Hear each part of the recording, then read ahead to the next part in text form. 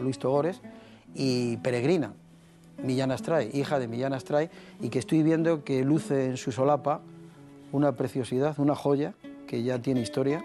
Pues sí, la tiene, Alfonso, porque estas son las armas de la Legión, es un broche que se lo regaló eh, nada menos que la reina Victoria Eugenia a mi padre porque fue a verle al hospital donde estaba curándose del balazo en el brazo y de la amputación del mismo. Y cuenta siempre mi padre, estaba encantado porque le sirvieron la comida en el momento en que estaba la reina. Y entonces la reina le dio de comer y le peló un melocotón con la mano, nada de con un tenedor y el cuchillo, sino directamente lo agarró con la mano y lo peló. Y siempre lo contaba mi padre. Y, yo lo llevo con todo lo Se la puso en las heridas, que tengo entendido. no, se la regaló simplemente. Se la regaló. Se la regaló bueno, hay que decir que estamos hablando de una señora que fue la madrina del príncipe Felipe y fue la abuela de nuestro rey actual, Juan Carlos I. Sí, señor, exactamente. Si esa señora, la abuela de Juan Carlos I y madrina de bautizo del príncipe Felipe, se entera que han retirado la estatua de ese gran militar que le dio de comer, seguramente que se hubiera llevado un gran disgusto. Togores, todo tuyo. Bueno, pues ya sabes que en 1919 eh, Millán Astray, teniente coronel, tiene autorización para ir a ver el cuartel de la Legión extranjera francesa en Tremecén. Y ahí él es donde va a ver realmente algo que ya se fraguaba en España, que era la, la recluta de extranjeros y de voluntarios para sustituir a los reclutas. Cuando se funda la Legión, la Legión tiene desde el principio es polémica, porque había una parte del gobierno que era muy partidaria, como era el, ministro, el, ministro de la Guerra, el vizconde de Eza, y sin embargo había otros sectores que eran muy contrarios. Concretamente, uno de los que más se oponía a la Legión era el general Silvestre. ¿Quién iba a pensar que luego iba a ser la Legión la que salvase Melilla detrás del desastre de Anual? Y rápidamente, bueno, pues Millán Astray empieza a construir eh, esa obra, que, ya hemos dicho tiene 90 años, y cuyo colaborador fundamental va a ser entonces eh, Franco, que es un comandantín que eh, ha conocido en Carabanchel. Y rápidamente se van a empezar a reclutar los primeros legionarios, que como ha dicho el vídeo llegan a espuertas. Eh, se puede decir que prácticamente en un mes se ha construido la primera bandera, que la manda Franco, y el 20 de septiembre eh, de 1920 es la fecha que la legión se considera nacida, ¿no? que es cuando se alista el primer legionario, que se llamaba Marcelo Villeval Gaitán curiosamente, un hombre de 30 años. Otra cosa que también ahora ya no se ve, pero antes los legionarios no eran chavalillos de 18, sino que eran soldados profesionales curtidos. Yo me acuerdo de niño cuando mi padre, que era militar, me llevaba a la estación, que llegaban los legionarios al desfile de la Victoria y venían con las barbas y los tatuajes, y la verdad es que eran soldados verdaderamente curtidos y, y que, como dijeron en Melilla, olían a guerra. Muy bien, pues precisamente has mencionado al general Silvestre y me da pie a lo que vamos a ver y vamos a escuchar a continuación eh, me permite que yo les dé una información sobre algo que muchos de ustedes creen que es el himno de la Legión, que es el novio de la muerte. Y no, el himno de la Legión lo vamos a escuchar al final del programa. El novio de la muerte tiene una historia preciosa y yo en breves momentos les voy a contar algo.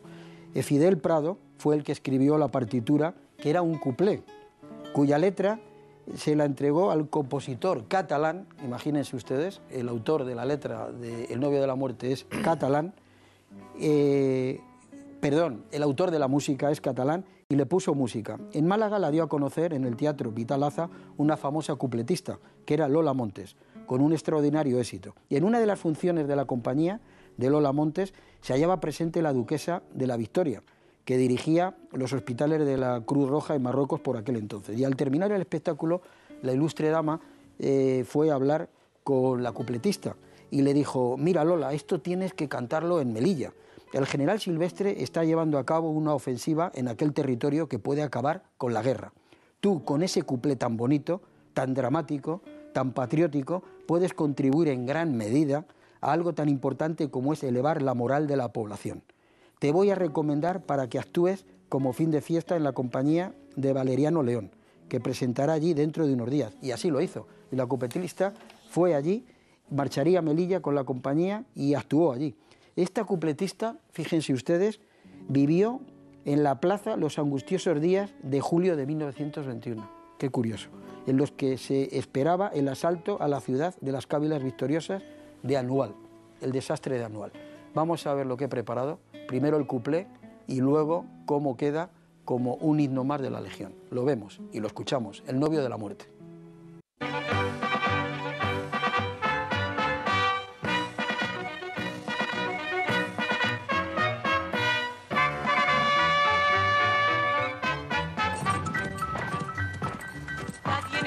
sabía quién era aquel legionario, tan audaz y temerario se alistó en la legión. Nadie sabía su historia, más la legión presumía que un gran dolor le mordía.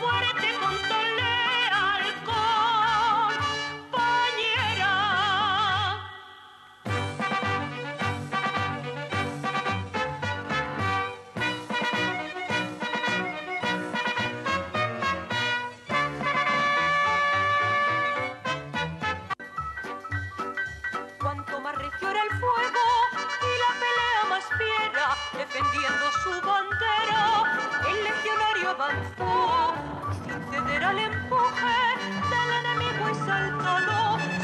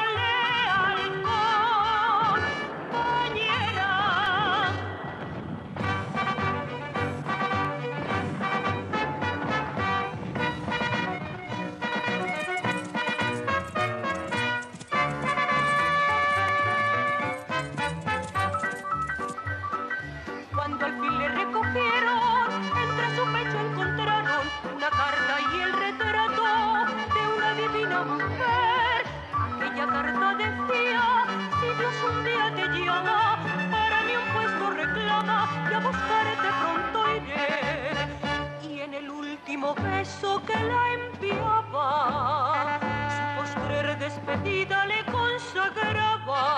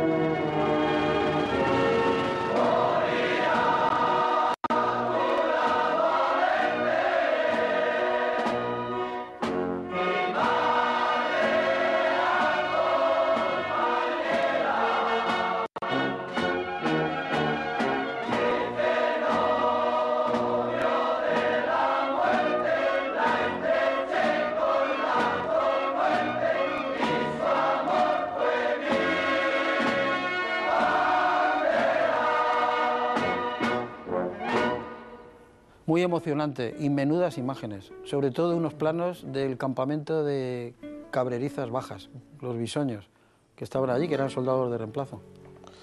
No, y hay una escena muy curiosa que yo creo que ha pasado, yo la he visto así de refilón, que se ve a Millán Astray en el puerto de Melilla, mm. dirigiendo con, capote y dirigiendo a los legionarios que están en el puerto. El desembarco. Sí, una cosa muy, yo no había visto nunca esa imagen.